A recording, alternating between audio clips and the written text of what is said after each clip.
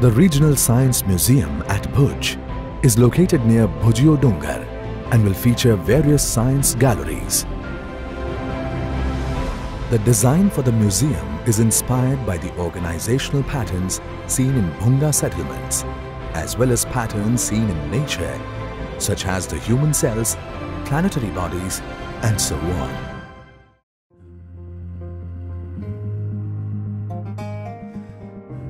The galleries are expressed as elliptical volumes and planned in a configuration that creates an internal street experience for the visitors. Each gallery is separated by a courtyard. This allows natural light and ventilation within the building.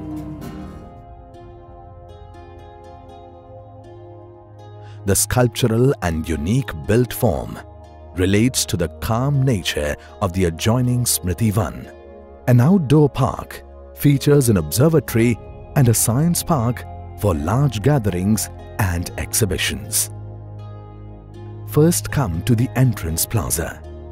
Here, one purchases a ticket and arrives in the central area of the museum.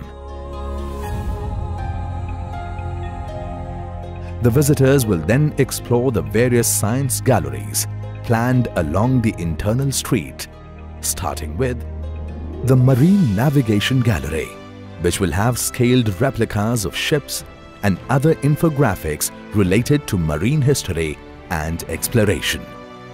The gallery will also have various exhibits including motifs and timeline on marine history, replicas, navigation instruments and so on.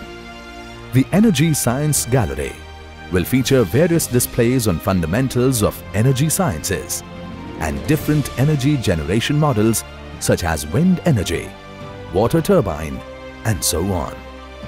The Nobel Prize Gallery will educate the visitor on the various Nobel Prizes and prize winners. The gallery will feature interactive display walls and panels related to Fields Medal. Within the Bonsai Gallery, bonsais are displayed in a meditative environment. The gallery will have both covered and open exhibit spaces.